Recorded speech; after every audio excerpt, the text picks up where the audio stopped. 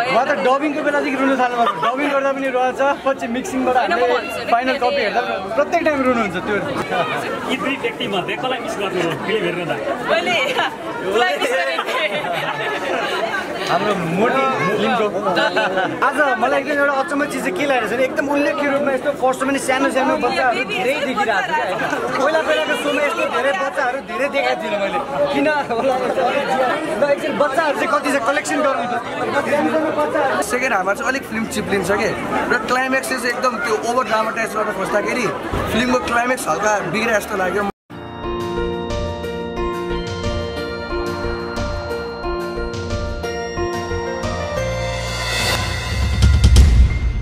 रङ्गखबर.com सबै रङ्ग तपाईँसँग।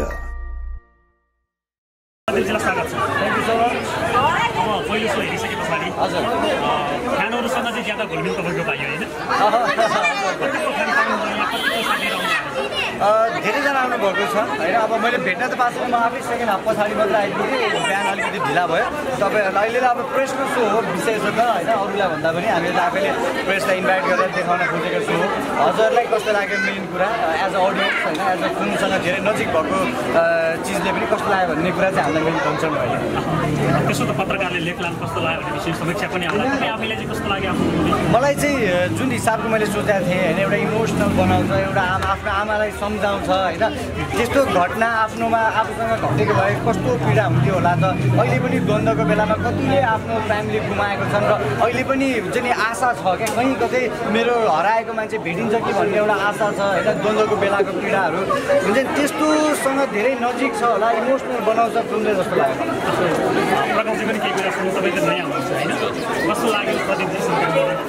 खुसी लाग्यो होइन? फर्स्ट टाइम अब हलमा हेर्ने मौका पायो होइन? हजुरसँग बसेर राम्रै हुन्छ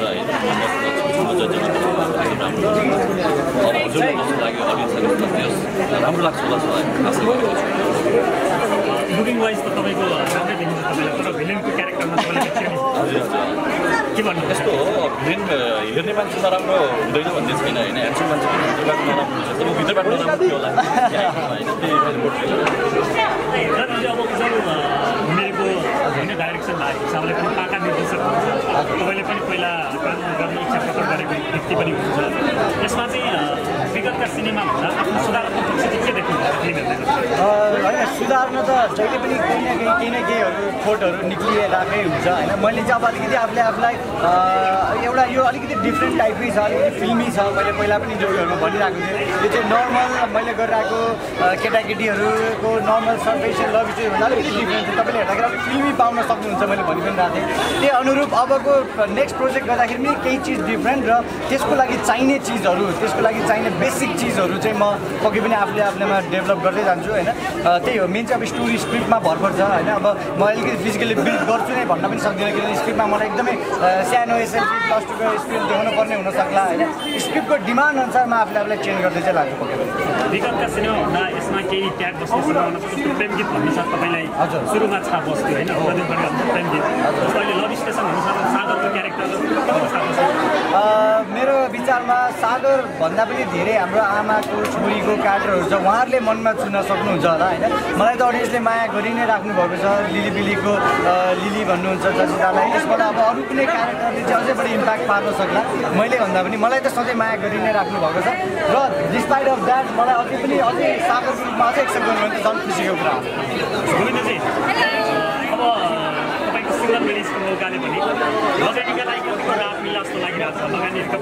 अब सिङ्गल मुभी आउनु नै सबैभन्दा सुखद कुरा हो जति डिस्ट्रिब्युटर साथीहरू हुन्छन् साथीहरू एउटा लिज हुन गयो लभ स्टोरमा यसलाई एकदमै खुसी सबै साथीभाइहरूलाई धन्यवाद दिन चाहन्छु। र बिहानको मौसम एकदमै डरलाग्दो मौसम थियो पानी परिरहेको थियो एकदमै डर लागिरहेको थियो मलाई। तर पनि सबै ठाउँमा बिहान हाउसफुल छ गोपी हाउसफुल छ अस्ट सबै ठाउँमा हाउसफुल छ। होइन म हेप्पी छु हिजो केही समाचारहरूमा चाहिँ एक सय एक कुनैमा एक सय चार देखियो। तपाईँ आफै पनि वितरक हुनुहुन्छ हजुर। यो कन्फ्युजन किन खास एक्ज्याक्टली कतिवटा हलमा अब न्युज मैले दिएको छैन कसैलाई पनि आधिकारिक न्युजहरू। आफै आएको छ त्यो आएको मैले सेयर त एक सय चारवटा हल अल नेपाल। त्यो भनेको अहिलेसम्मको सबैभन्दा धेरै हल पाउने चलचित्र हो लभ हन्ड्रेड पर्सेन्ट हो बाहिर भित्र सोध्न सक्नुहुन्छ बाहिर मात्रै छ एकसठवटा हल छ काठमाडौँ पुरै हल छ होइन? अहिले अल नेपाल लभ सिन छ सबै यहाँलाई। कतिको यो चाहिँ बिहानीको सोमा धेरै दर्शकहरू पनि आए फ्यानहरू पनि आए रेस्पोन्स के पाइरहनु भएको रेस्पोन्स एकदम पोजिटिभ पाइरहेको छ सबैजनाले एकदमै वर्क एकदम अप्रिसिएट गरिदिनु भएको छ भोइस एकदमै राम्रो लाग्यो भन्नुभएको छ अनि त्यो भन्दा पनि मुभी ओभरअल त मन रुनु म त इमोसनल भयो डबिङको बेलादेखि रुनु थाल्नु भएको डबिङ गर्दा पनि रहेछ पछि मिक्सिङबाट फाइनल कपी हेर्दा प्रत्येक टाइम रुनुहुन्छ त्यो दिदी दिदी आफू एक वर्ष भयो होला pretty much। अनि एक वर्षपछि यत्रो ग्यापमा अब आफूलाई फेरि एउटा होइन स्क्रिनमा हेर्न पाएको हुन्छ नि कति भयो नि त टाइम होइन त्यही भएर एकदम खुसी लाग्यो ओभरवेलमिङ फिलिङ होइन अनि सबैजनाले मन पराउनु भएको कारणले नजिकको थियो गोविन्द सर उहाँ सबै हामीसँगै थियो। अब दुईजना मात्रै कसलाई मिस गर्नुभयो त भित्र त सँगै रहेन यी दुई व्यक्तिमध्ये कसलाई मिस फिल्म हेर्नु त मैले हाम्रो मोटी फिल्मको भ्यू भ्यू थपा थपै गर्ने अनि लिएर चाहिँ के भन्नुहुन्छ जस्तो यो फिल्ममा के डिफ्रेन्स छ होइन तर तपाईँ कामयाब फिल्मबाटै दोहोरिनु भएको हिसाबले के भन्नुहुन्छ अडियन्सले भन्न चाहन्छु बिहारै हेर्दो रहेछ इट्स अफिस फ्यामिली ड्रामा एकदमै इमोसनली अट्याच हुन्छ स्योरली हजुरलाई कस्तो लाग्यो आज मलाई एकदम एउटा अचम्म चिज चाहिँ के लागेको छ भने एकदम उल्लेख्य रूपमा यस्तो फर्स्ट पनि सानो सानो बच्चाहरू धेरै देखिरहेको थियो पहिला पहिलाको सोमा यस्तो धेरै बच्चाहरू धेरै देखाएको थिइनँ मैले। किन? होला ल एकछिन बच्चाहरू चाहिँ कति छ? कलेक्सन गर्नु बच्चाहरू चाहिँ कति छ? कलेक्सन गरौँ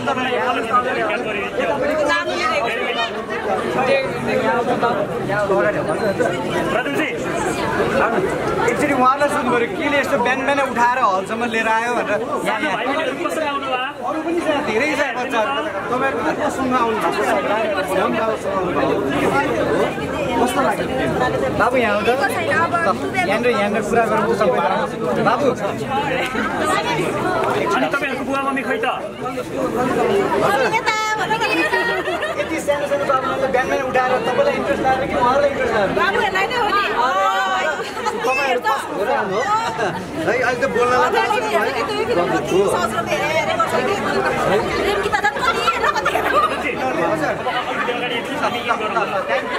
बच्चाहरूको इन्टरभ्यू लेखेको छ हजुर हजुर अटोग्राफ ल हजुर यो सकाएर इन्टरभ्यू सकाएर है एकैछिन बस्नु ल एकैछिन ल अनि तपाईँलाई चाहिँ पसन्द लाग्यो कि साका लाग्यो म आफै मायालु लाग्यो अह, मायालु अब आमा माया लाग्यो एक्ज्याक्टली म म्याम आज आउनुभएको छ तपाईँ थिएन पहिला मेरो ड्याडी चाहिँ जानु जानुभन्दा अगाडि चाहिँ मलाई जाऊ रमाइलो गरेर एकदमै राम्रो छ भन्नु होइन देखाएँ ब्युटिफुल सेक्री एन्ड भेरी नाइस पिपल राम्रो अब कतिबाट एउटा डाइरेक्ट दिउँ होला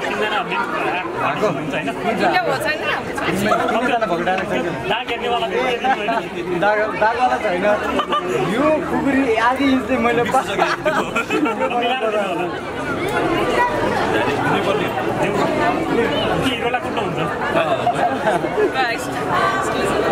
तिनजना केटामा डाइलगै छैन अब हाम्रो अहिले एउटै डाइलग के हो थाहा छ लभ स्टेसन लगाइसक्यो हलमा हेरेर आउनु होइन एकदम राम्रो छ। तिनजनाले एउटै यही एउटा एउटा डाइलेक्ट चाहिँ सुनेर जाउँ तपाईँको चाहिँ एउटा डाइलेक्ट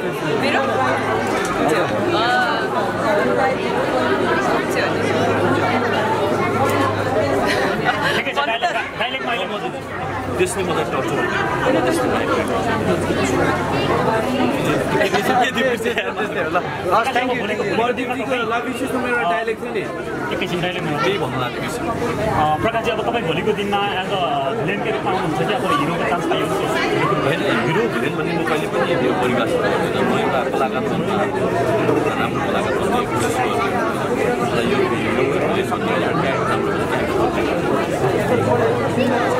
अब खालि लभर बोयको रूपमा आइरहँदाखेरि चाहिँ चक्लेटी हिरो लभर बोय मात्रै भन्ने एउटा ट्याग हुन्छ एउटा क्यारेक्टर आर्टिस्टको रूपमा आफूलाई स्थापित गर्नका लागि भोलिको दिनमा फरक लुक्स होइन? एउटा हुन्छ नि त्यो प्रकारको च्यालेन्ज गर्नु भने कतिको? त्यस्तो हुन्छ होइन? चेन्ज भनेको चाहिन्छ। सधैँ एउटै चिजले मोनोटोनसै हुन्छ। तर बिहान चिया खाने बेलामा मोमो दियो भने नरुच्ला होइन? त्यही भएर अहिले जे रुचाइराख्नु भएको छ अहिले जे टेस्ट खोजिराख्नु भएको छ म त्यही गर्छु। तर अलि लङ रनमा हेर्नुभयो भने चाहिँ चेन्ज देखिन्छ। अहिले सर्ट रनमा फिल्मै पछि चेन्ज देखिने भन्ने चाहिँ नहोला। तर बिस्तारै अलि लङ रनमा के के गर्यो त भन्ने बेलामा चाहिँ डेफिनेटली चेन्ज पाउनुपर्छ। जसिताजी अब तपाईँको करियरमा लागि चाहिँ यो फिल्म कतिको माइलस्टोन साबित होला? एउटा डाइरेक्सन पक्षको हिसाबले हेर्ने भने अब्बल बनिरहेका छन् होइन? अजर सरको कामलाई लिएर पनि धेरैले तारिफ गरेका छन्। तपाईँको लागि चाहिँ कतिको प्लस पोइन्ट साबित होला?